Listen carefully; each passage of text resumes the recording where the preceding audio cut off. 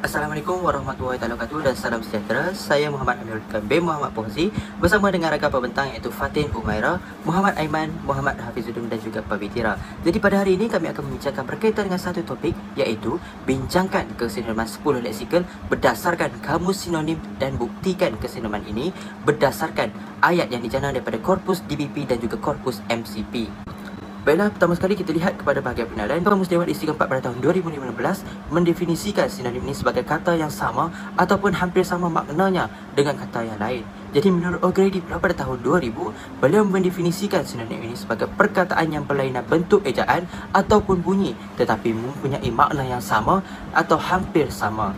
Jadi menurut Lyons pada tahun 1981, uh, beliau telah mengkategorikan sinonim ini kepada dua bahagian iaitu sinonim jati ataupun dikenali juga sebagai sinonim mutlak. Yang kedua iaitu sinonim separa. Jadi beliau telah mengusulkan tiga syarat untuk mengenal pasti sama ada sinonim itu terkandung ataupun tergolong dalam sinonim jati ataupun sinonim separa iaitu kita lihat pada sinonim itu mestilah bersinonim penuh sekiranya uh, semua maknanya sama. Yang kedua kita lihat pada sinonim itu bersinonim secara keseluruhan jika pasangan itu bersinonim dalam semua konteks. Yang ketiga kita lihat bersinonim itu bersinonim secara lengkap jika pasangan itu bersinonim bagi semua dimensi maknanya yang relevan. Berdasarkan rujukan yang dibuat daripada kamus sinonim, hangat dan panas merupakan perkataan bersinonim yang membawa maksud yang sama iaitu bersuhu tinggi.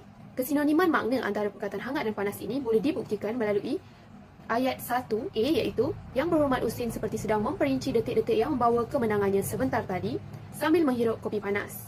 Kedudukan panas dalam ayat tersebut boleh dipertukarkan dengan kedudukan perkataan hangat yang mana ianya masih akan membawa makna yang sama yang menggambarkan keadaan kopi yang bersuhu tinggi.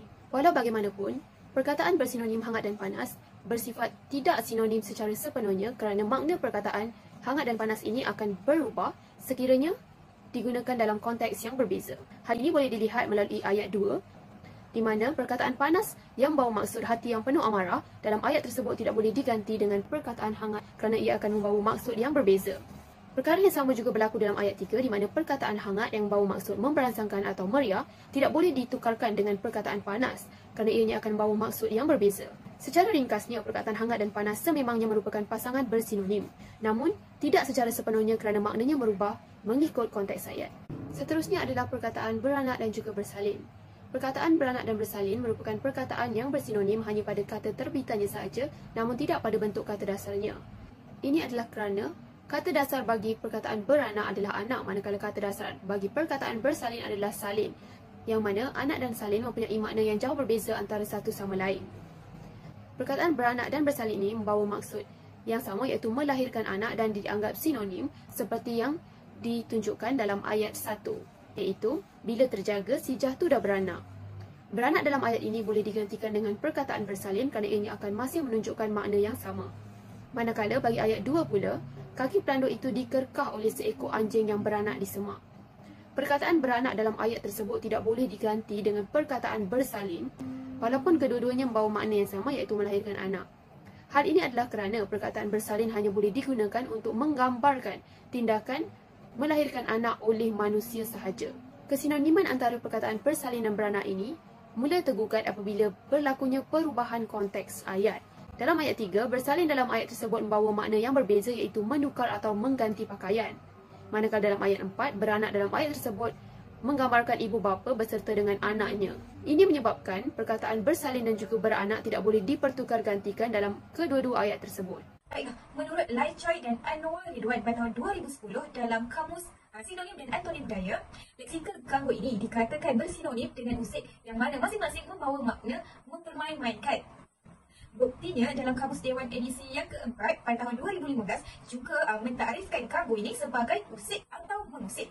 Baiklah, kedua-dua leksikal ini uh, dikatakan uh, jelas bersinonim apabila kedua-dua uh, leksikal ini ditukar ganti dalam ayat ianya tidak uh, membawa sebarang perubahan makna. Misalnya dalam contoh yang telah pengkaji kemukakan iaitu uh, maaf kerana ganggu tu akhir sambung Ridwan juga uh, sama maknanya apabila ditukar ganti menjadi usik iaitu maaf kerana usik tu akhir sambung Ridwan. Kedua-dua uh, ayat ini masih membawa makna yang sama walaupun ditukar ganti bagi uh, leksikal sinonimnya. Itu juga dengan contoh yang kedua iaitu budak-budak perempuan itu kena ganggu lagi.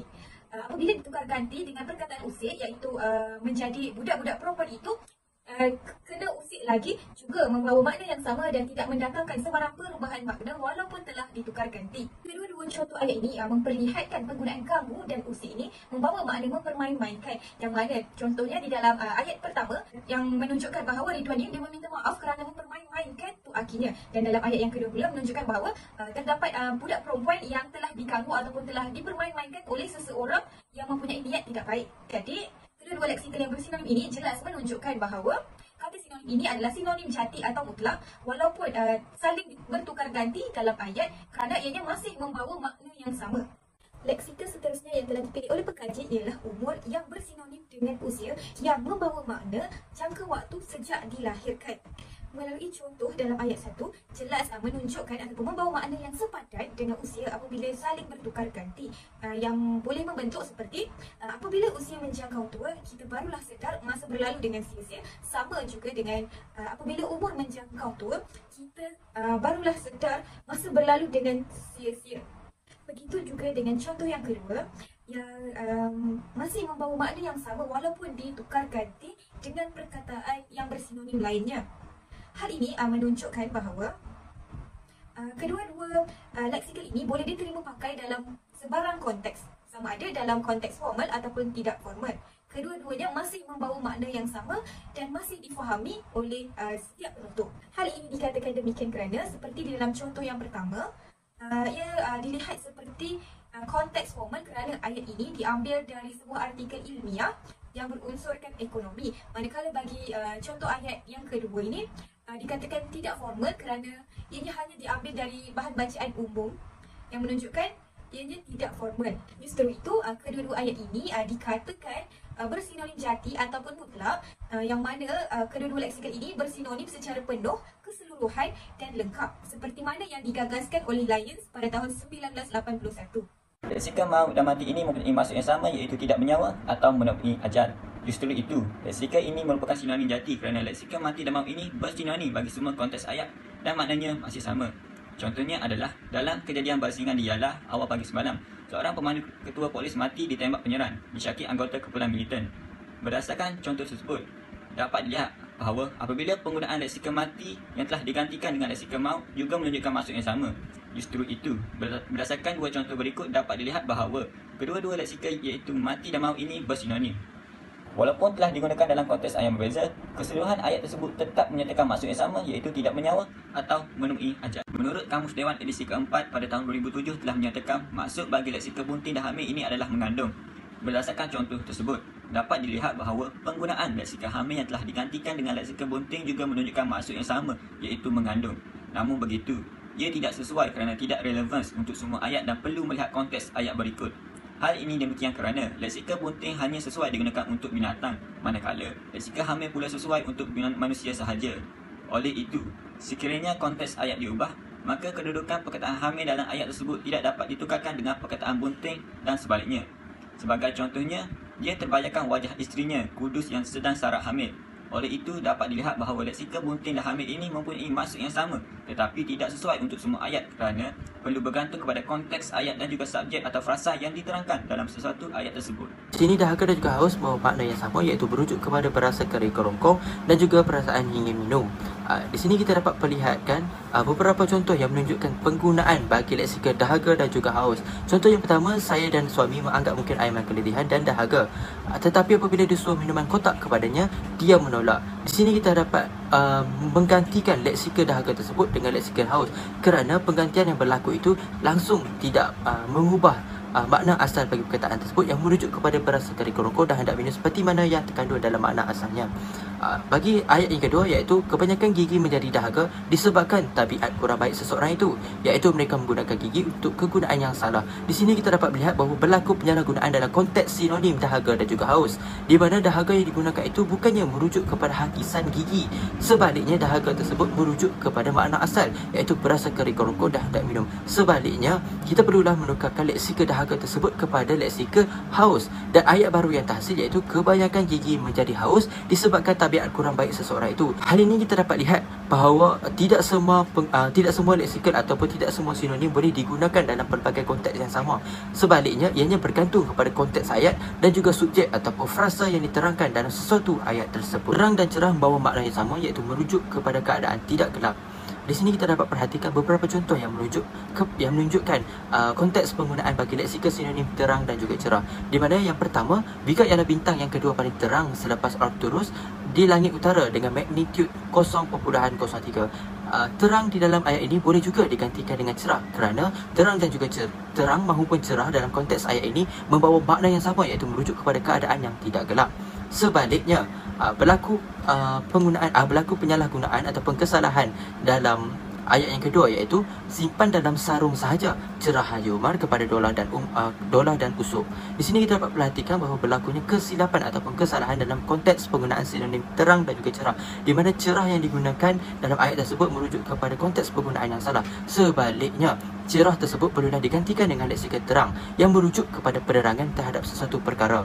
Sebaliknya apabila digunakan uh, sebaliknya kita juga boleh menggunakan uh, cerah ini tetapi kita perlulah memasukkan imbuhan abitan iaitu abitan uh, pen dan juga an iaitu uh, menghasilkan ayat baru simpan dalam sarung sahaja pencerahan Haji Umar kepada Dolah dan juga Usuk ini merujuk uh, membawa makna yang sama seperti mana berlakunya keterangan iaitu merujuk kepada pencerahan Uh, kita juga boleh menggantikan cerah tersebut dengan terang.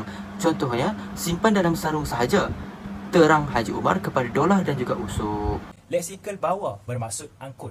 Manakala dalam kamus Dewan Bahasa dan Pustaka edisi keempat, leksikal bawa merujuk kepada perbuatan mengangkat sesuatu sambil bergerak ke suatu tempat lain. Mengangkut, memikul, mendukung dan menjunjung. Secara dasarnya, kita dapat memahami bahawa perkataan bawa itu merupakan sesuatu perbuatan yang menunjukkan pergerakan dari satu tempat ke suatu tempat yang lain.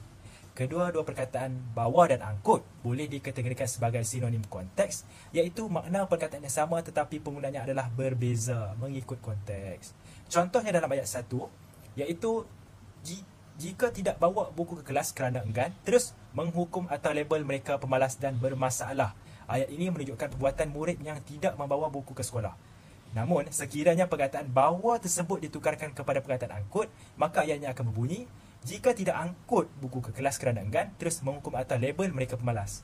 Kita boleh katakan ayat tersebut adalah tidak gramatis. Hal ini dikatakan demikian kerana jika difikirkan secara logiknya, uh, perkataan mengangkut tersebut merujuk kepada kategori bilangan yang banyak dan lebih berat. Tambahan pula, perkara ini dilihat tidak bersesuaian disebabkan perkataan angkut lebih layak digunakan dalam konteks ayat yang menunjukkan perbuatan memuatkan, membawa atau mengirimkan sesuatu barangan dengan menggunakan kenderaan seperti lori, kapal terbang dan lain-lain pengangkutan. Dalam arti kata lain, dilakukan uh, dalam bentuk beban kerja yang lebih berat. Uh, bagi contoh ayat yang kedua pula iaitu syukur Ramadan tahun ini bawa sinar baharu buat saya dan keluarga. Perkataan bawa di sini merujuk pada perihal mendatangkan, mengakibatkan dan juga menyebabkan. Ayat tersebut dilihat tidak bersesuaian sekiranya leksikal bawa ditekarkan dengan perkataan angkut. Maka ayatnya akan jadi Ramadan tahun ini angkut sinar baharu buat saya dan keluarga sama sekali tidak gramatis. Perkataan angkut tersebut adalah lebih layak digunakan untuk menunjukkan uh, pergerakan sesuatu benda yang lebih nyata uh, bukannya seperti dalam contoh tersebut. Walaupun kedua-dua perkataan tersebut mempunyai makna yang sama, namun penggunaan perkataan dalam konteks yang berlainan akan memberikan kesan yang berbeza. Leksikal aneh bermaksud ganjil.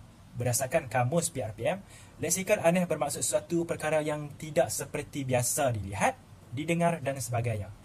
Dalam arti kata lain, kita dapat mengetahui bahawa leksikal aneh ialah sesuatu yang pelik dan luar daripada kebiasaan serta merujuk pada suatu perkara yang asing. Leksikal aneh dan ganjil boleh dikategorikan sebagai sinonim jati. Hal ini dikatakan demikian kerana makna bagi ayat dapat difahami oleh pembaca sekiranya leksikal aneh ditukarkan dengan perkataan ganjil seperti yang dinyatakan dalam contoh ayat yang pertama. Sekiranya leksikal aneh tersebut ditukarkan kepada perkataan ganjil, maka ayatnya akan berbunyi, adakah cahaya misteri yang dikesan di Laut Cina Selatan sama dengan beberapa objek ganjil yang dirakam kapal selam tentera laut Amerika Syarikat? Begitu halnya dengan ayat yang kedua. Ayat tersebut masih boleh dicapai oleh pemahaman kita selaku pembaca. Daripada sini kita dapat melihat makna bagi ayat tersebut tetap difahami oleh pembaca sekiranya leksikal aneh ditukarkan dengan perkataan ganjil. Dalam arti kata lain, kedua-dua perkataan ini dapat bertukar tempat dalam konteks kebahasaan apapun tanpa mengubah makna struktural dan leksikal dalam suatu rangkaian kata ataupun ayat. Baiklah, secara ringkasnya dapat disimpulkan bahawa bukan semua tokoh linguistik uh, mentarifkan sinonim sebagai kata yang sama dari segi ertinya. Misalnya, terdapat juga uh, tokoh yang uh, menyatakan bahawa kata yang bersinonim ini juga boleh membawa makna yang sama atau hampir sama. Justru itu, uh, untuk memastikan sesuatu iaitu benar dari segi konteks penggunaannya, um, kata tersebut mestilah boleh ditukar ganti dengan pasangan sinonimnya dan masih membawa makna yang sama. Walau bagaimanapun, uh, terdapat juga leksikal yang uh, tidak uh, mengubah makna walaupun uh, digunakan dalam sebarang konteks sama ada konteks formal ataupun tidak formal. Contohnya, umur yang bersinonim dengan usia uh, yang memperlihatkan makna uh, jangka waktu sejak dilahirkan.